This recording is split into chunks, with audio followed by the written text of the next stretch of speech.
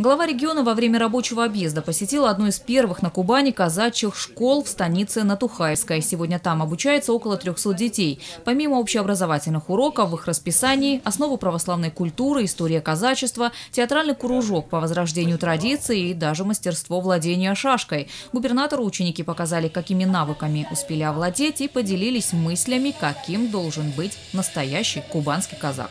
Честь и доброе имя для казака дороже жизни. Как ты это понимаешь? Я понимаю это так, то что ты можешь э, погибнуть, а честь, ну, имя для тебя останется. Вы изначально казачат, вы казаки. Вот мы сегодня говорим о том, что казаки – это вот тот э, нравственно образующий стержень Кубани, который сегодня должен быть примером для всех жителей Кубани.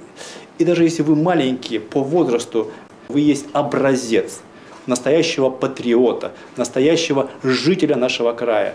Тех, кто любит свою землю, бережет и делает край еще более сильнее и более процветающим. Вот такими вы должны быть с самого раннего детства. Во время объезда Вениамин Кондратьев также посетил новороссийскую птицефабрику и ряд социальных объектов, а после о перспективах развития муниципалитета пообщался с местными жителями.